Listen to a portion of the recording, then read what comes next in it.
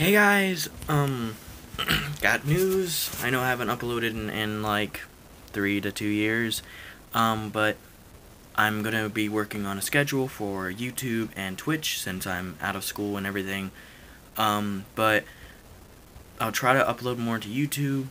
I got a new computer and everything, so everything should be fine. Um, I'll be live streaming on Twitch, though. Uh, it's easier to live stream on Twitch than YouTube, but I'll try to make more content on both parties. I'll try to make a schedule as well. Get a mic, because I don't have one right now. It broke. So, yeah. And anytime I'm in a game or anything and I can't talk, I'll text it if I'm in a game that has the text thing.